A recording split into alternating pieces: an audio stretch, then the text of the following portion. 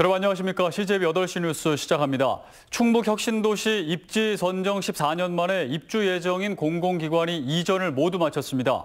혁신도시가 들어선 지역은 그간 놀라운 변화를 맞았지만 아직 갈 길이 멀어 보입니다. 구준혜 기자입니다. 트럭 가득 싣고 온 이삿짐을 부지런히 옮깁니다. 충북 혁신도시의 둥지를 튼 한국과학기술기획평가원이 막바지 이전 작업에 한창입니다. 우리나라 과학기술 정책을 만들고 지원하는 기관으로 직원 380명이 근무합니다. 한국과학기술기획평가원은 오는 30일부터 이곳 새청사에서 업무를 시작해 본격적인 충북 혁신도시 시대를 개막합니다. 이로써 충북 혁신도시에 입주 예정인 11개 공공기관이 모두 이전을 마쳤습니다. 2006년 2월 혁신도시로 선정된 지 14년 만입니다.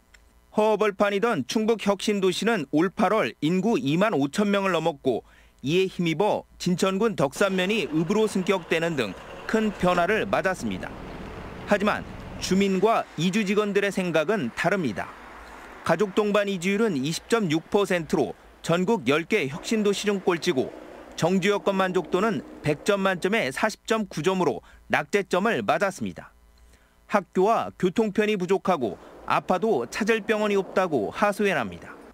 상인들도 고전 중입니다. 저녁에 사람이 안 다녀요. 여기. 경포병원 병원. 충청북도는 이 같은 문제를 해소하기 위해 2022년까지 6천여 억 원을 투입해 신재생에너지 국가 성장 거점을 구축하고 교육과 ICT 기반의 살기 좋은 도시를 구축한다는 청사진을 내놨습니다.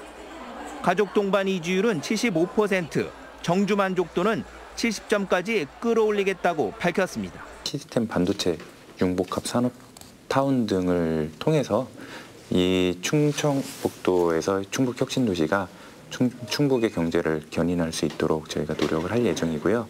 정부의 공공기관 이전이 끝남에 따라 이제 충북 혁신 도시를 지역 발전의 거점으로 성장시켜야 할 과제가 남았습니다.